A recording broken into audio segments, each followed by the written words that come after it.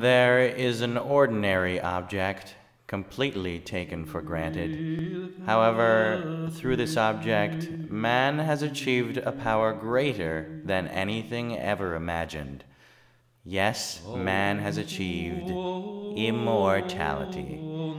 What is this thing, this almighty immortal object? The plastic bag. What? Absurd. Not really. When man no longer exists, the plastic bag will remain. Think about it. Plastic bags are manufactured in the trillions, literally. They are commonly and unnecessarily used every day, with the US alone consuming about 30 billion each year. Half the time, we could do just as well without them. But Immortality? What? Yes, immortality.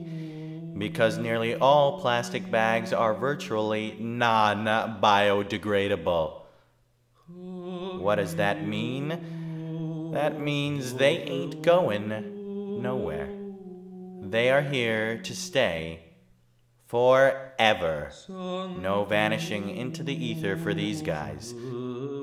Throughout his quest to achieve the power of the gods, man has done so through the creation of the most mundane, trivial object of all time. Half of man's brethren do not even fully realize this great power has been achieved.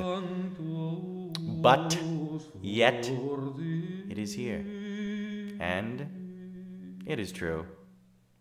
I repeat, when man decides to wipe himself clean off the face of the earth, a relic of his past achievements, the ever immortal plastic bag will remain, calmly blowing in the wind under the bright red sun.